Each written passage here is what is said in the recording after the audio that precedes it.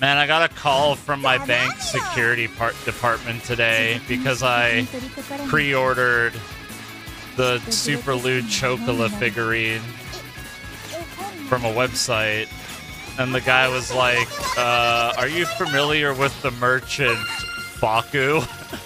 I'm like, "Yep, I am indeed." Like, oh, okay, just just making sure. Bye. お団